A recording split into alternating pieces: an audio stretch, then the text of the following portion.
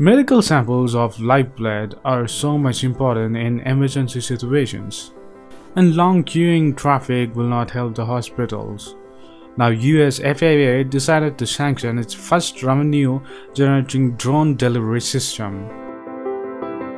UPS's interest in this technology has completely changed uh, the game. When a company like UPS shows up and shows interest, it legitimizes the entire industry and it really accelerates the entire industry. UPS will be delivering the packages with its autonomous drone technology from Matternet. The drone can carry up to 5 pounds and up to 12.5 miles in a single charge. Right now, it is running as a trial and error process.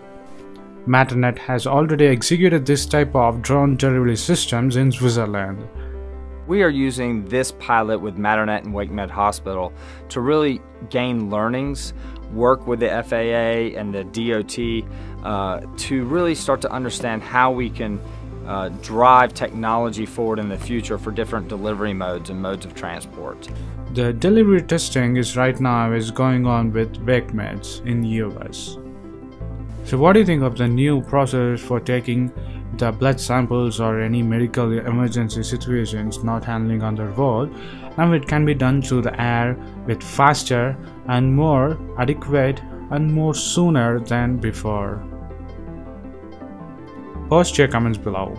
And if you like this video please give a thumbs up and follow us on social networks and subscribe to our channel. And thanks for watching.